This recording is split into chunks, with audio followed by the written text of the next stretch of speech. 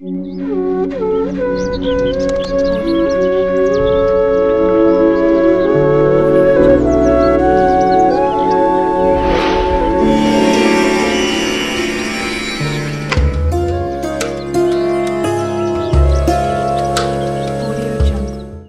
మనం ఇంట్లో ఖచ్చితంగా దేవుళ్ళ ఫోటోలను పెట్టుకుంటాం కదా?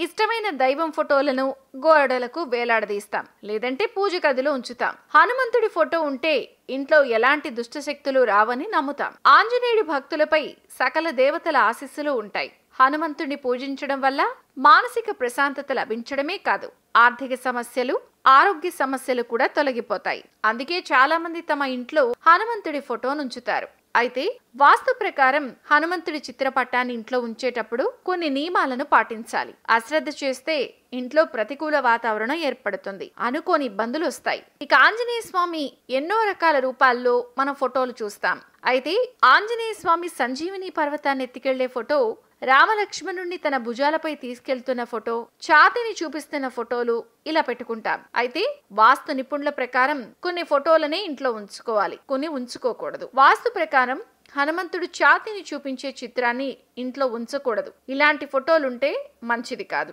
హనుమంతుడు గాల్లో ఎగురుతున్న లేదా పర్వతాన్ని ఎత్తే చిత్రాన్ని కూడా ఉంచకూడదు. అశుభం అంటారు. శ్రీరాముడు లక్ష్మణుడి భుజాలపై కూర్చోబెట్టుకున్న ఫోటోలను కూడా ఉంచకూడదు. ఇక వాస్తు ప్రకారం పసుపు దుస్తులు ధరించిన హనుమంతుడి చిత్రపటాన్ని ఇంట్లో ఉంచితే మంచిది. పసుపు సింధూరం అంటే హనుమంతుడికి ఇష్టం. హనుమంతుడు కూర్చున్న భంగిమలో ఉన్న ఫోటోలు కూడా ఇంట్లో ఉంటే మంచివి. కలు ఇలాంటి ఫోటోలు ఇంట్లో ఉంచితే సానుకూల వాతావరణం కలుగుతుంది.